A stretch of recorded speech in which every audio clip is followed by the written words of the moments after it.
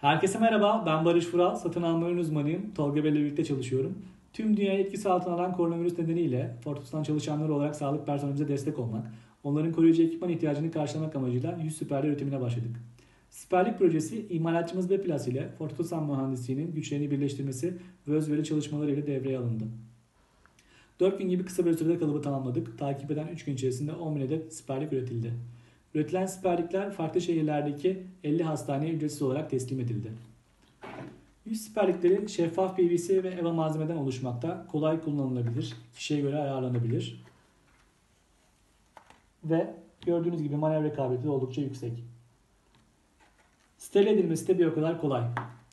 İçinde bulunmaktan keyif aldığın, Fortosan alanında gurur duyduğun bir çalışma oldu. Başta fedakar sağlık çalışanları olmak üzere emeği geçen herkese gönülden teşekkür ederim. Sağlıkla kalın.